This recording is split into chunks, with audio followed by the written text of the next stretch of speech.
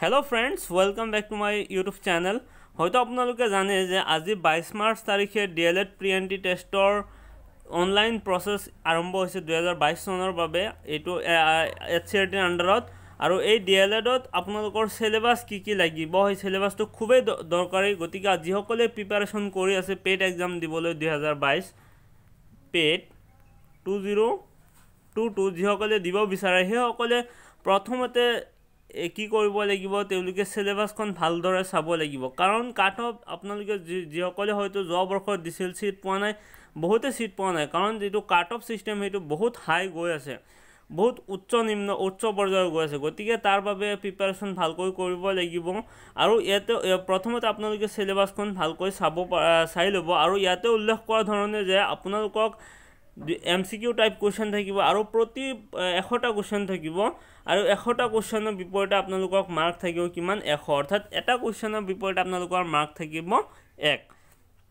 কিন্তু যদি আপোনালোকৰ যদি মাৰ্কটো ছাপ'জ নিগেটিভ মাৰ্কিং আছে যদি আপোনালোকৰ ছাপ'জ এটা কুৱেশ্যন কটা গ'ল আল্টিমেটলি সেই কুৱেশ্যনটোৰ পৰা আল্টিমেটলি আপোনালোকৰ পইণ্ট টু ফাইভ অৰ্থাৎ চাৰিভাগৰ এভাগ কি হ'ব? আপোনালোকৰ নিগেটিভ মাৰ্ক হ'ব। যদি আপোনালোকে ভুল এনচাৰ কৰে তাৰ বাবে পইণ্ট টু ফাইভ আপোনালোকে নিগেটিভ মাৰ্ক পাব। গতিকে সেইকাৰণে আপোনালোকে এনচাৰবোৰ কৰোঁতে সদায় সাৱধানতা অৱলম্বন কৰিব লাগে আৰু সেই মাৰ্কিং ছিষ্টেমটো ইয়াতে দিয়া আছে। আপোনালোকে হয়তো ভালকৈ বুজি ল'ব পাৰিব। ইয়াতে অসমীয়া মাৰ্ক ডিষ্ট্ৰিবিউশ্যন অৰ্থাৎ চিলেবাছৰ মাৰ্ক কোনটো পৰ্যায়ত কিমান আছে কোনটো ছাবজেক্টত কিমান আছে যদি আপোনালোকে ইয়াতে লক্ষ্য কৰে যে তাতে দুটা ছেকশ্যন আছে দুটা ছেকশ্যনত পৰীক্ষা হ'ব এটা হৈছে ফাৰ্ষ্ট আৰু আনটো হৈছে ছেকেণ্ড আপোনালোকৰ ফাৰ্ষ্ট ছেকশ্যনত আছে যে জেনেৰেল ইংলিছ অৰ্থাৎ ইংলিছ আৰু ইংৰাজীত থাকিব আপোনালোকৰ দহ মাৰ্ক তাত অৰ্থাৎ দহটা কুৱেশ্যন থাকিব আপোনালোকৰ ইংৰাজীৰ ইংৰাজীৰ কুৱেশ্যন থাকিব। আৰু কি কি ইংৰাজী চিলেবাছ কি তাত তলত দিয়া আছে মই আলোচনা কৰিম। আৰু জি কেৰ দিয়া থাকিব জেনেৰেল নলেজৰ থাকিব পোন্ধৰটা কুৱেশ্যন জি কেৰ থাকিব। আৰু ৰিজনিঙৰ থাকিব দহটা কুৱেশ্যন গতিকে এইটো হৈছে এইটো হৈছে পাৰ্ট ওৱান বা ছেকশ্যন ওৱান আৰু ইয়াতে কিমান আছে? টোটেল থাৰ্টি ফাইভ মাৰ্কছ আছে। ইয়াতে আৰু ছেকেণ্ড পাৰ্টত আছে বা ছেকেণ্ড ছেকশ্যনত আছে গণিতত আছে পোন্ধৰ মাৰ্ক আৰু জেনেৰেল ছায়েন্স বা ই ভি এছত আছে পোন্ধৰ মাৰ্ক আৰু ছ'চিয়েল ছায়েন্সত আছে বিছ মাৰ্ক আৰু লেংগুৱেজ অসমীয়া আছে কোনোবাৰ কোনোবাৰ বাংলা আছে বড়ো আছে তাতে আছে পোন্ধৰ মাৰ্ক গতিকে আটাইতকৈ যদি বেছি নম্বৰ দেখা পায় তেতিয়া আপোনালোকে পাব যে বিছ মাৰ্ক হৈছে ছ'চিয়েল ছায়েন্সৰ আটাইতকৈ বেছি নম্বৰ আছে গতিকে ছ'চিয়েল ছায়েন্সত যথেষ্ট গুৰুত্ব দিব লাগিব। ইয়াৰ চিলেবাছ অনুসৰি। গতিকে এতিয়া আমি চিলেবাছটো চিলেবাছলৈ যদি আগবাঢ়োঁ ছেকশ্যনত ওৱানত ইংৰাজীৰ কি কি বস্তু লাগে?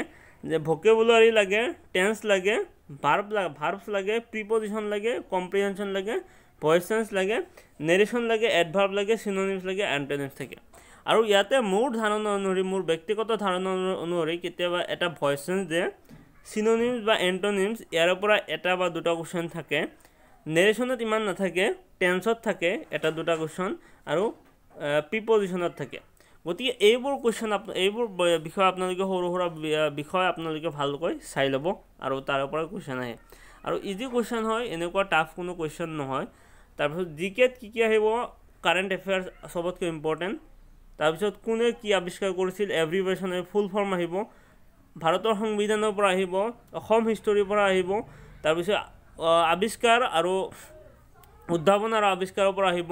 Sports arts and culture everyday and science এইবিলাকৰ পৰা আহিব। আৰু ৱৰ্ল্ড অৰ্গেনাইজেশ্যন ইণ্টাৰনেশ্যনেল যিবিলাক অৰ্গেনাইজেশ্যন আছে ডাব্লিউ এইচ অ' তাৰপিছত আছে ইউনেস্ক' এইবিলাকৰ পৰা আহিব আৰু জিঅ'গ্ৰাফি অফ ইণ্ডিয়া সেইবিলাকৰ পৰা কুৱেশ্যন আহিব। এইটো হৈছে জি কেৰ কুৱেশ্যন আৰু ৰিজনিংটো একদম ইজি আহে।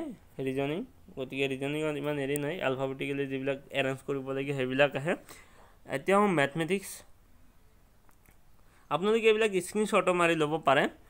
মেথমেটিক্সত লাগে এইবোৰ লাগে আপোনালোকে পঢ়ি চাব। ভিডিঅ'টো দীঘল নকৰোঁ গতিকে এইবোৰ আছে আৰু ছায়েন্স এণ্ড ই ভি এছত আছে আপোনালোকৰ এইবিলাক। এচিড বেছ আছে ছায়েন্স আৰু আৰু ছ'চিয়েল ছায়েন্সত আছে এইখিনি। আৰু লেংগুৱেজত কি কি লাগে? লেংগুৱেজত ইয়াতে দিয়া আছে ভাষা শিক্ষণ তাৰপিছত শব্দৰ শব্দৰ ব্যৱহাৰ শব্দ সম্ভাৰ সেইবিলাক আহে।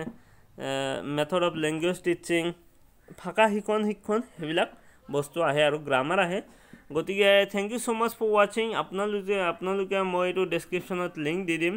আৰু এই আৰু মোৰ চেনেলত আপোনালোকৰ দুহেজাৰ বিছ চনৰ আৰু দুহেজাৰ বাইছ চনৰ দুহেজাৰ একৈছ চনৰ যিটো প্ৰি এণ্ট্ৰি টেষ্ট হৈছিল তাৰে এটা ভিডিঅ' তাৰ যিবিলাক কুৱেশ্যন আছিল তাৰে এটা ভিডিঅ' মই বনাইছোঁ।